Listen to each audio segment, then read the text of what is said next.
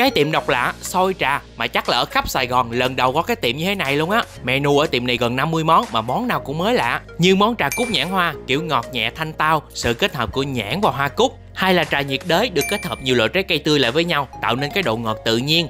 Trà mãng cầu có thêm vài lát xí muội cho ra hương vị riêng mới bứt phá so với ly trà mãng cầu bình thường. Trà lũ đỏ thì tràn đầy topping những hạt lựu tươi mới luôn nè. Mấy cái sót trái cây ở đây á là tiệm tự làm từ trái cây tươi hết luôn á nên rất là chất lượng rồi đây nè, ngoài các món trà thì các món đặc biệt của tiệm là xôi mà đặc biệt nhất là hai cái nước sốt này nè, rất là lạ và ăn cuốn lắm nha. Mỗi phần xôi ở đây sẽ dao động từ 35 ngàn, nếu muốn thêm phần nước thì cộng 14 ngàn nữa nha, là các bạn ăn no căng bụng luôn á. Xôi ở đây topping rất là chất lượng và luôn luôn nóng hổi nha. Nè, tới khúc này tim nào mà mê trà sữa là đảm bảo không rời được luôn. Nhìn thạch và topping kiểu nhà làm là quá mê luôn. Trà sữa ở đây vị đậm đà nhưng không có bị ngọt gắt. Có món trà sữa mãng cầu mới lạ được quán sáng tạo cùng với topping là muối mãng cầu tươi chua chua ngọt ngọt rồi cái ly trà sữa một lít full tớp topping nữa nè Trà sữa khoai môn thì thơm béo, vị khoai tự nhiên, bắt mắt, cứ nhìn là mê liền. Tiệm thì không gian máy lạnh xịn sò, thức uống bình dân với hương vị sáng tạo và mới lạ. Vậy thì ngại gì mà không lưu lại để thử nè.